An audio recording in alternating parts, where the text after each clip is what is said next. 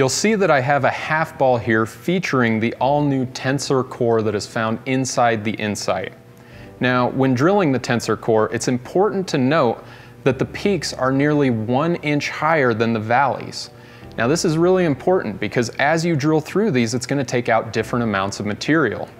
If you drill directly through one of the peaks, you're gonna remove more heavy weight block material and you're gonna change the dynamics more. If you drill into one of the valleys here, you're gonna remove less overall weight block material and you're gonna keep those dynamics more intact. Now the main four peaks that we're concerned with are these four on the front. These four are strategically placed to enhance the differences that you'll see from different layouts when you drill this ball.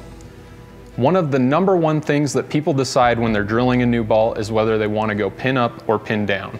So let's take a look at how both of those affect the Incite differently. If we start with the pin up ball, your thumb is going to be somewhere in this middle part of that tensor core. So you can see if we drill directly through the PSA, we're actually going to be in one of the valleys.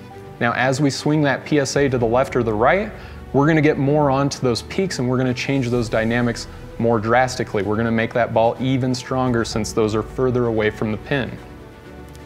Now likewise, if we go pin down, you'll see that the opposite is happening because these are, are staggered on here.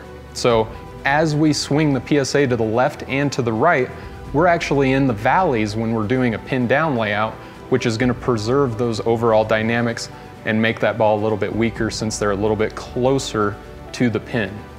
So the overall idea behind this is you're able to maximize what your particular style is calling for with a different layout. It's gonna give you a bigger difference between different layouts, which allows you to fit it into your arsenal, and it allows a lot of different styles to benefit from this unique tensor core shape.